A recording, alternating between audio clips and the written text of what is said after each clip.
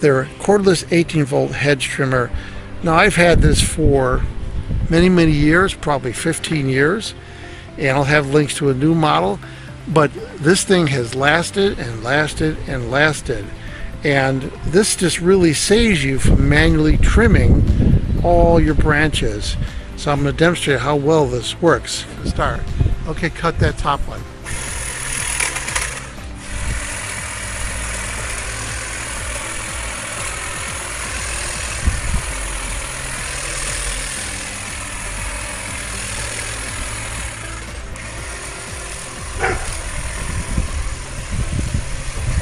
It works really well. The blade stays sharp.